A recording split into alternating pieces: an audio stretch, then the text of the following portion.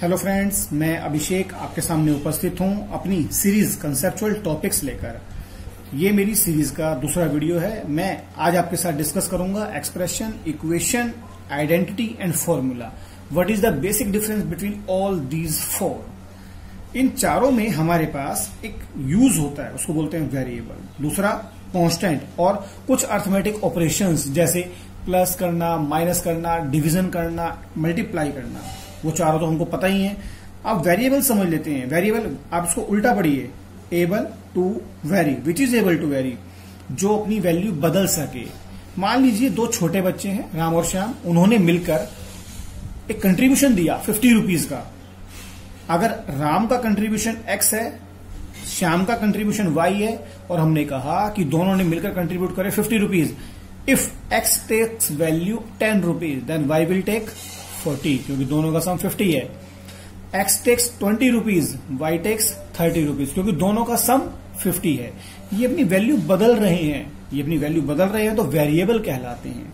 अगली चीज़ आती है हमारे पास कांस्टेंट कांस्टेंट कांस्टेंट हमारे पास दो तरह के होते हैं। एक होता है हमारे पास परमानेंट कांस्टेंट परमानेंट और एक होता है हमारे पास temporary temporary constant, permanent constant. अगर मैंने कहा कि मेरे पास टू पेन्स हैं तो श्योरली मेरे पास टू ही रहेंगे, अभी भी, कल भी, परसों भी। जब तक मैं कोई नया पेन नहीं लाता हूँ या कोई डैमेज नहीं होता है। तो वैल्यू फिक्स है, ये परमानेंट कांस्टेंट है। लेकिन अगर एक छोटे बच्चे को टू रूपीज पॉकेट अलाउंस मिलता है पर डे तो उसके पास टू डेज़ में हो जाएँगे two into two four rupees three days में three into two six rupees और फाइव डेज़ में टू फाइव जा टेन रुपीज़ बेशक उसके पास आने वाली वैल्यू फिक्स है, लेकिन it is dependent on number of days value fix होते हुए भी कांस्टेंट होते हुए भी बदल रही है। इसीलिए इसका नाम है टेम्परेरी कांस्टेंट तो कांस्टेंट दो तरह के होते हैं permanent constant and temporary constant अब बात आती है एक्सप्रेशन की। एक्सप्रेशन क्या होता है? एक्सप्रेशन जो हमने पढ़ा है आज तक एक्सप्रेशन की हम लोग वैल्यू फाइंड करते हैं। एक्सप्रेशन होता है वेरिएबल्स एंड कॉन्स्टेंट्स को आपस में कंबाइन करना using arithmetic operations arithmetic operations के साथ वेरिएबल्स एंड कॉन्स्टेंट्स को बाउंड करना। किस तरीके से आप बाउंड कर सकते हैं? मान लीजिए मैं दो वेरिएबल्स की बात कर रहा हूँ। आपने लिखा two multiply x plus three multiply y. ये आपका एक्सप्रेशन बन गया है। आपने सेकंड एक्सप्रेशन लिखा, टू को डिवाइड कर दिया एक्स से, प्लस सेवन को मल्टीप्लाई कर दिया वाई से। ये टू वेरिएबल्स में है और एक कंसेप्ट होता है पावर जिसकी पावर वन है, हम उसको बोलते हैं लीनियर एक्सप्रेशन मान लीजिए एक एग्जांपल और लेते हैं सेवन एक्स की power two minus eight multiply है बीच में माइनस कर दिया minus eight x plus nine y two variables highest power two तो ये हमारा एक्सप्रेशन है डिग्री टू का वेरिएबल्स टू यहाँ आपने डिवाइड किया था, यहाँ मल्टीप्लाई किया था। देखिए, दोनों को मल्टीप्लाई एट और एक्स को, फिर माइनस तो अर्थमेटिक ऑपरेशंस का यूज़ करते हुए जब वेरिएबल्स और कॉन्स्टेंट्स को कंबाइन करके लिखा जाता है तो हम उसको कहते हैं एक्सप्रेशन अब बात आती है इसके बाद इक्वेशन की। इक्वेशन जब कोई भी एक्सप्रेशन बाउंड कर दिया जाए बाउंड रेस्ट्रिक्ट कर दिया जाए रेस्ट्रिक्ट आप कैसे करेंगे? आप कहेंगे, मान लीजिए, मैं इसी वाले एक्सप्रेशन को ले लेता हूँ, जो कि मेरे पास है two x plus three y. तो two x plus three y को मैंने बाउंड कर दिया। मैंने लिखा two x plus three y is equal to seven मैंने इक्वल टू लिया। बाउंड करने के लिए हमारे पास two x plus three y less than equal to seven भी हो सकता था। ये बाउंड करने का सबसे लास्ट वाला तरीका होगा हमारे पास, जो कि हम प्लस वन में डील करते हैं। फ़िलहाल, मैं अप टू टेंथ की ही बात कर रहा हूँ और इसको लास्ट में डिस्कस कर लूँगा। Two x plus three y is equal to seven आपने बाउंड किया इक्वलिटी के साथ। तो ये हमारा कहलाता है इक्वेशन जब भी कभी रेस्ट्रिक्शन लग जाए, आप इसको इक्वेट कर सकते हैं two x plus three y is equal to zero आप किसी भी वेरिएबल के कॉम्बिनेशन को एक्स को वाई को कॉन्स्टेंट्स को, जब आपने कंबाइन कर लिया, उन सभी के कॉम्बिनेशन को अगर आपने इक्वेट कर दिया बाउंड कर दिया रेस्ट्रिक्ट कर दिया किसी भी कॉन्स्टेंट के then that is called an equation अगर ये लेस देन इक्वल टू का साइन आ जाता है तो हम प्लस वन में पढ़ते हैं, इसको हम बोलते हैं इनइक्वेशन ये बिल्कुल लास्ट टॉपिक होगा आप लोगों के लिए. अगर आप लिखते हैं two x one x one मतलब degree one plus three y y की power one is equal to nine जहाँ भी कहीं आपको इक्वल टू का साइन दिखता है तो आप समझ जाएँगे तुरंत कि ये इक्वेशन है. Expression equal to a constant equation अगर वेरिएबल होता वेरिएबल को हम इस साइड शिफ्ट कर देते, सबको सोल्व कर लेते फाइनली फिर वो इक्वल टू ज़ीरो आ जाता। तब भी वो इक्वेशन है। अभी इक्वल टू का साइन आगे आइडेंटिटी और फार्मूले में भी आना है। मैं आपको वो अलग से एक्सप्लेन करने वाला हूँ। वीडियो पूरी ज़रूर देखिएगा। सभी को डिटेल में बताने के लिए कुछ चीज़ों का हल्का सा रिपीटेशन भी हो जाता है। पर वीडियो पूरी देखिए ताकि आपको समझ में आए कि मैं क्या कहना चाह रहा हूँ। Second two x square plus seven x plus eight is equal to zero. Highest power degree. Two variable सिर्फ़ एक्स है। तो हम इसको बोलेंगे it is quadratic degree two वाला quadratic in single variable but it is equation तो ये होगा हमारा क्वाड्रेटिक इक्वेशन क्वाड्रेटिक इक्वेशन की फाइनली जो मैंने आपको पहचान बोली है इक्वल टू होना चाहिए, किसी के इक्वेट होना चाहिए। It is bound it is bound to be equal to zero बन गई हमारी इक्वेशन इसके बाद हमारे पास एक वर्ड आता है आइडेंटिटी आइडेंटिटी हम लोगों ने अपनी लोअर क्लास में पढ़ा हुआ है ए प्लस बी का whole square is equal to A square plus B square plus two A B ये इसके बाउंड नहीं है, ये इसके इक्वल है। अगर आप कभी भी ए की वैल्यू रखते हैं, मान लीजिए टू बी की वैल्यू रखते हैं थ्री तो आपके पास एलएचएस आ जाता है टू प्लस थ्री फाइव का स्क्वायर जो कि इक्वल होगा ट्वेंटी फाइव फिर आप आरएचएस चेक करते हैं। आरएचएस में आप क्या लिखेंगे? टू का स्क्वायर प्लस बी मतलब थ्री का square plus two into two into three two का स्क्वायर फोर थ्री का स्क्वायर नाइन टू टू जा फोर थ्री जा ट्वेल्व ट्वेल्व और four sixteen plus nine twenty five आप देखते हैं दोनों साइड इक्वल आ गई हैं। ये कहलाती है हमारी identity identity is that which holds good holds good for all values पर ये अप टू टेंथ तो चल जाता है।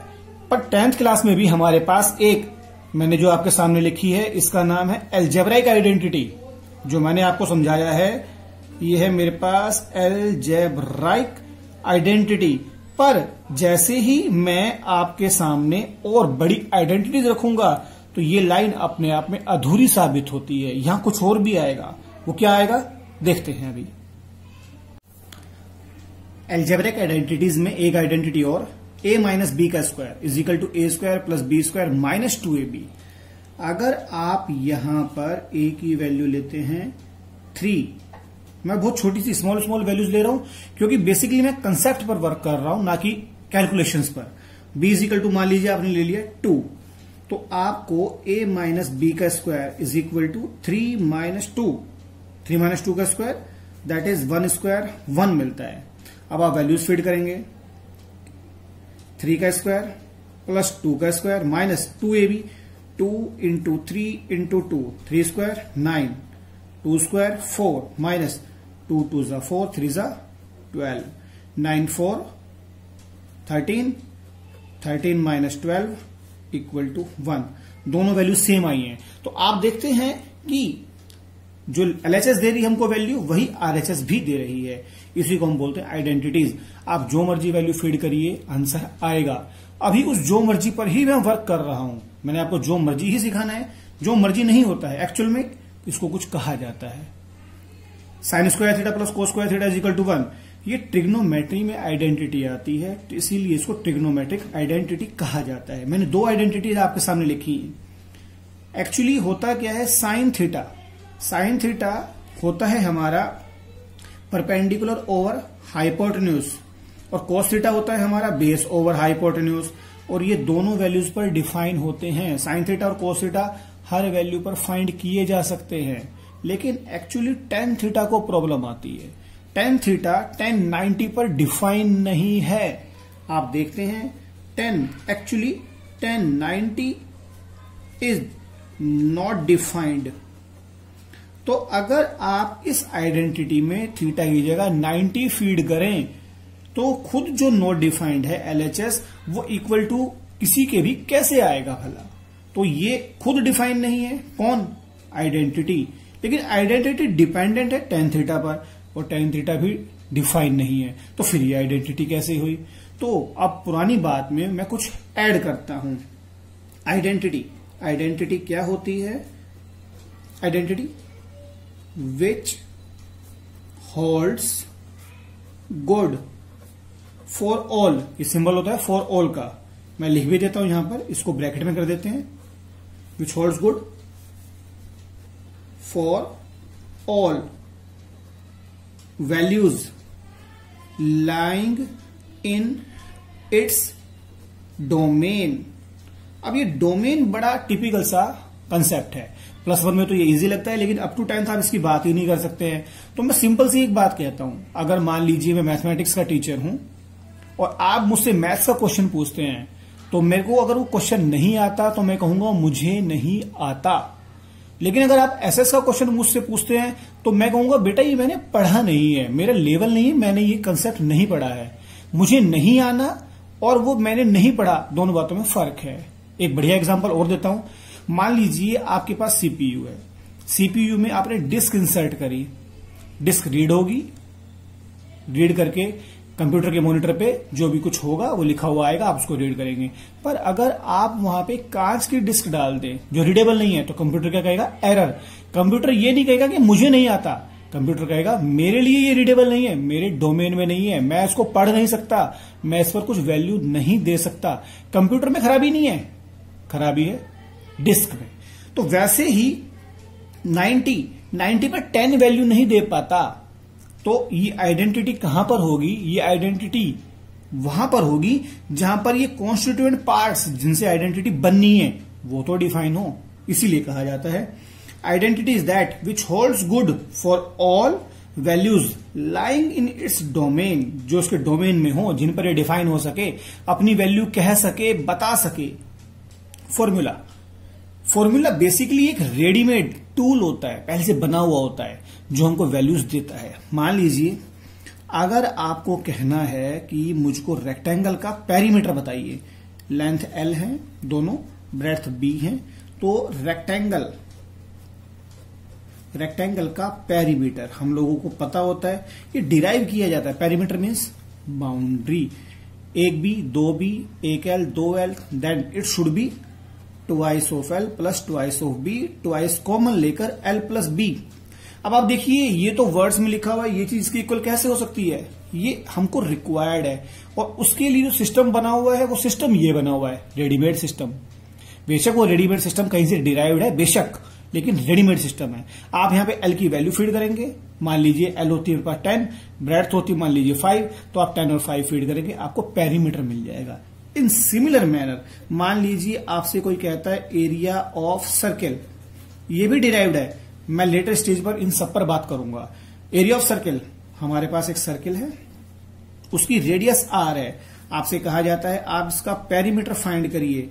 जो चीज़ रिक्वायर्ड है। देखिए, ये इक्वेशन नहीं हो सकती, क्योंकि इक्वेटेड होने के लिए पहले इस साइड वेरिएबल होने चाहिए थे कांस्टेंट होने चाहिए थे अर्थमेटिक ऑपरेशन होना चाहिए था। वैल्यू के इक्वेट ये तो वैल्यू के इक्वेटेड नहीं है तो इक्वेशन नहीं है। एक्सप्रेशन कांस्टेंट वेरिएबल होते थे डायरेक्ट वैल्यू फाइंड करते थे, नहीं, वो भी नहीं है। आइडेंटिटी एलएचएस आरएचएस नहीं है आइडेंटिटी नहीं है तो बेसिकली फॉर्म्यूला है। आप पेरीमीटर फाइंड करना है, मान लीजिए रेडियस आप रखते हैं टू तो पेरीमीटर का फॉर्मूला होता है टू पाई आर जिसके लिए सर्कमफ्रेंस कहते हैं। आप वैल्यू रख दीजिए two pi into two is equal to four pi units आप कहते हैं, मुझे एरिया चाहिए सर्किल का। हमारे पास सर्किल का एरिया होता है पाई आर स्क्वायर पाई, आप आर की जगह रखिए टू टू का square four pi square units ये होता है हमारा एरिया फॉर्मूला रेडीमेड वैल्यूज़ देता है हमको। उम्मीद करता हूँ आपको सबको समझ में आया होगा। Thank you